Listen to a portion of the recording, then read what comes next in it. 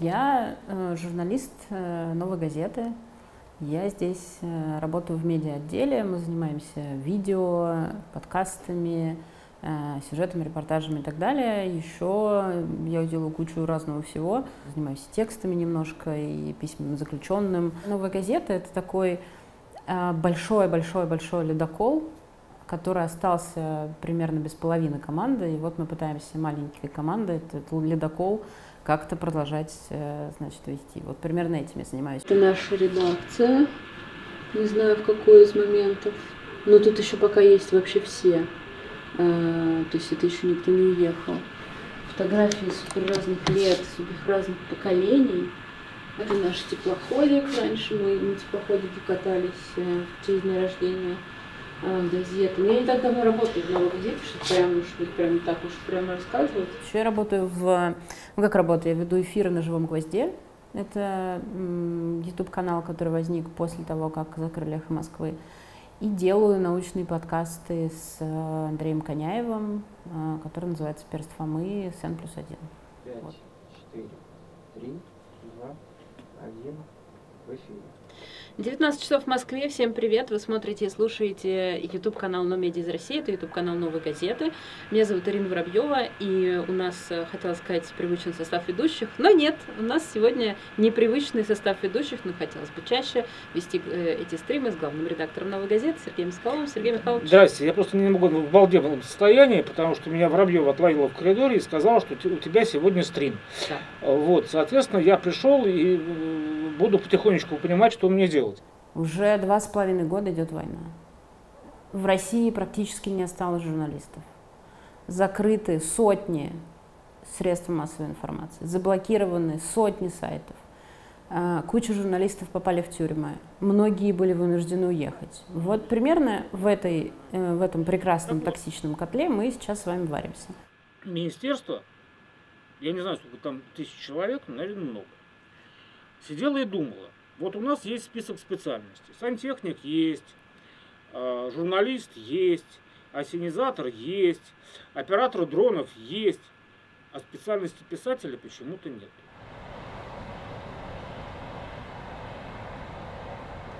Я очень литературоцентричный человек. Я с детства очень любил э, книги, детства очень любил истории, и люблю их до сих пор. И для меня самое главное в жизни – это истории. Это их узнавать и их э, рассказывать. У нас состоялся разговор с отцом. Он спрашивал, для чего мне это нужно, почему мне не хватает э, Чечни. Э, сказала ему, что я хочу помогать женщинам, что я вижу как сильно страдают женщины. И хочу э, воспользоваться тем, что у меня есть эта сила, и помочь им. А что он ответил? Он э, позвал всю мою семью, посадил всех и перед всеми э, заставил меня отчитываться, извиняться. И мне пришлось при всех э, членах своей семьи рассказывать обо всем этом. Это вот было больнее, чем избиение. Ну там хотя бы вроде расслабленная поездка такая ожидается. Да вообще, наконец-то, без терактов. Хорошие люди, хорошее кино якутское, хороший фотограф. Как старые добрые времена прям. Да вообще. Конечно, сейчас э, в России репрессивные законы и военная цензура, но, по счастью, она касается именно рассказа о том, что происходит на фронте, о том, что происходит э, в Украине.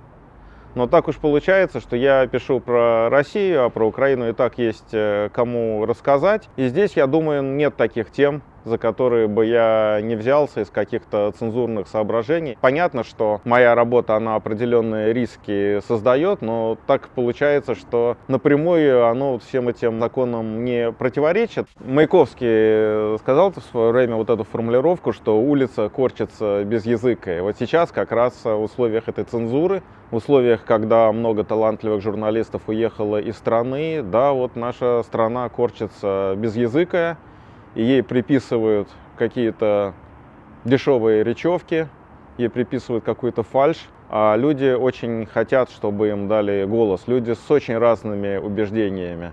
И поэтому эти люди, они приходят в том числе и ко мне, и я им нужен.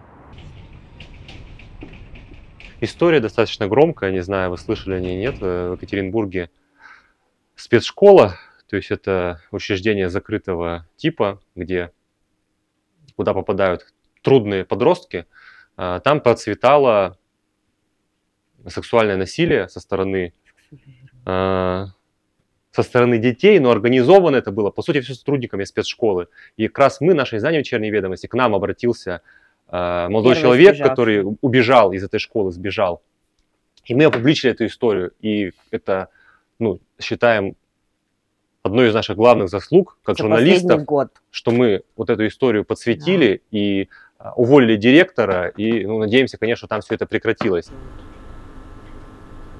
Вечерние ведомости – это довольно древнее, я бы даже сказала бы, издание. Оно когда-то в 90-е годы и в начале нулевых выпускалось в бумаге. Вообще это считалось а, первое независимое печатное издание, собственно, в Екатеринбурге. А вот. А через какое-то время а, те вечерние ведомости закрылись, и открылось интернет-издание «Вечерние ведомости». Это был 2010 год. Для меня история вечерних ведомостей, конечно, начинается с момента, как я стала именно директоркой издания. У нас очень много а, материалов, которые связаны с жизнью, собственно, Екатеринбурга. Мы поднимаем, как правило, и коррупционные тематику, и все, что касается жизни города, то есть его озеленение, там, работа мэрии, работа чиновников, все, что касается какого-то развития экономического, промышленного и так далее. Черноисточинский пруд у нас на Урале принято прудами называть, дореволюционных времен они водохранилищами. В 1729 году был заполнен. А, тогда еще для нужд завода, а сейчас это водохранилище для обеспечения Нижнего Тагила питьевой водой. Оно цветет, простыми словами, если говорить. Там размножаются сине-зеленые водоросли. В общем, сейчас дно там заилено, там э, есть э, проблемы которые связаны еще с сбросом остатков водоканала. И, ну, по сути, вода, слишком много в нее нужно всяких реагентов добавлять, чтобы она соответствовала качеству.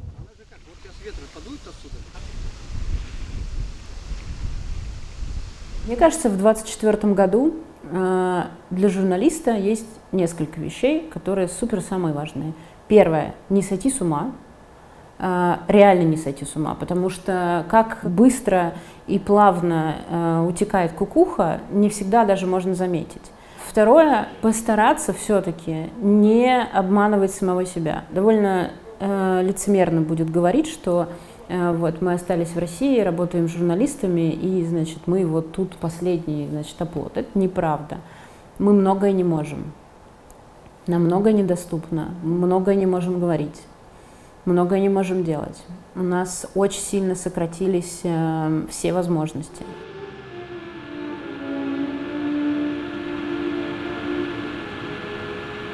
В России теперь все наоборот. Люди не хотят знать никакой правды о войне, хотя она идет уже четвертый год войны. И поэтому мужество журналиста в этих условиях, как я его понимаю, состоит в том, чтобы, вопреки, может быть, желанию людей, но давать им эту информацию. Свободы СМИ сейчас нет в России, это я в этом убежден, это действительно так, но есть независимые СМИ, которые в условиях нынешнего несвободного законодательства все равно продолжают работать и освещать события, подавать информацию настолько э, в тех границах, так, скажем, в тех границах, э, насколько это возможно. Сейчас, наверное, один из самых тяжелых периодов в истории России. Сейчас, ну, в принципе, любой человек, который не согласен, который имеет свое мнение, он э, может за это поплатиться, тем более журналист. Ну, что поделать. К сожалению, несколько моих коллег в последнее время, они оказались э, в тюрьме, и меня очень беспокоит, что о них э, мало говорят, потому что это региональные журналисты, и вообще у нас в России такое неправильное, на мой взгляд, всегда было отношение к региональным журналистам. Даже я помню, что когда я говорил в Москве, что вот дагестанская журналистика не уступает столичной, там есть невероятные абсолютно люди, но все как-то вот э, смеялись. А сейчас уже никто не смеется, потому что сейчас э, журналистика держится именно на таких вот людях в регионах, которые и рассказывают о них правду, и все понимают, что без них ну, мы бы ничего не смогли сделать. Если ты выбираешь оставаться в России и делать здесь медиа, то ты, конечно, должен работать, исходя из тех реалий, которые есть.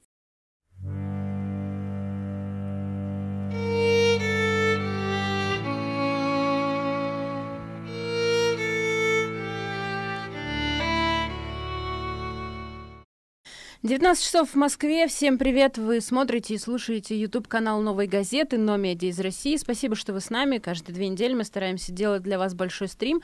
В этот раз мы э, в привычном составе ведущих. Меня зовут Ирина Воробьева. Вместе со мной Антон Орех. Привет. Мы сейчас попали в ситуацию довольно жесткой ловушки, потому что с нами не все хотят говорить. То есть, например, одна часть людей не хочет с нами разговаривать, потому что мы ставим, вынуждены ставить плашку иноагента. Другая часть людей, оставшихся в России, не хочет с нами разговаривать, потому что они боятся. А еще появляются люди, которые не хотят с нами разговаривать, потому что просто мы из России. Мне кажется, что вот конкретно любовь к стране — это такая штука, когда ты понимаешь, что это все твое, но не в смысле собственника, а в смысле того, что я здесь живу, значит, если я вижу, что что-то не так работает, я хочу это починить. Если я вижу, что и понимаю, что э, что-то идет не так, то я думаю о том, что я могу сделать, чтобы все пошло так. Я не верю в то, что э, есть люди полностью состоящие из зла.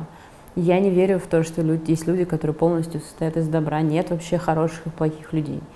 Есть люди, которые внутри себя опираются либо на одно, либо на другое. Поэтому, конечно, точно так же, как э, мы должны и обязаны думать о журналистике будущего, мы должны и обязаны думать о будущем России. Я понимаю, в какой момент я это говорю.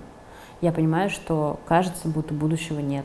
Я понимаю, что э, многие скажут, что думать сейчас не надо не об этом, а о том, что погибают люди, как это остановить. Я не знаю, как это остановить. Но я точно знаю, что если наступит момент, в котором будет возможность и будет вот это окно возможностей, то опять стоять и смотреть на него и говорить, ой, а мы не знаем, как должно быть, вот этого быть не должно. Россия очень разная, и если бы здесь не оставалось ничего хорошего, конечно бы я отсюда давно уехал. Очень многие же люди вот сидят в Москве, например, они вообще не знают, что происходит в России. Перед ними вот этот очень узкий мирок. А когда ты уезжаешь, естественно, этот мирок э, становится еще уже. Но если ты едешь по стране, если ты общаешься с людьми, ты видишь, что да, вот эта трагедия, которая сейчас происходит, безусловно, она накладывает на страну гигантский отпечаток, и, безусловно, у нее будут долгосрочные и ужасные последствия. Я, конечно же, думала уехать из России как и, мне кажется, все. А, я не политик, и я, мне не обязательно, разумеется, оставаться здесь. Я, конечно же, не хочу отсюда уезжать. Я, конечно же, хочу остаться и, и пытаться что-то делать, и каким-то образом ну, быть с людьми рядом, что ли. Когда ты видишь то, что люди находятся вокруг тебя в смятении, что люди не понимают э, вообще, что происходит, и ты сам тоже начинаешь, господи, нужно остановиться, там, да, дайте я остановлюсь, я сейчас просто подумаю, а мысли нет. Когда они вот, вот, вот здесь начали строить все. Что? Нет, не Бака или со скважины? Водоканала. В самые первые дни конца февраля 2022 года мы поняли, что самое важное – это поддержка друг друга и поддержка людей, которые в этом нуждаются прямо сейчас. Я все-таки хочу верить, что, может быть, доживу до прекрасной России будущего, что, может быть, как раз э, сейчас она и живет из себя вот эти болезни, которые ее преследуют уже давно, что, может быть, это последний серьезный рецидив, и дальше, наконец-то, мы пойдем каким-то нормальным путем. И, наконец-то, вместо вот каких-то безумных идей люди поймут, что главное — это счастье, главное — это забота о людях, а не принесение их в жертву.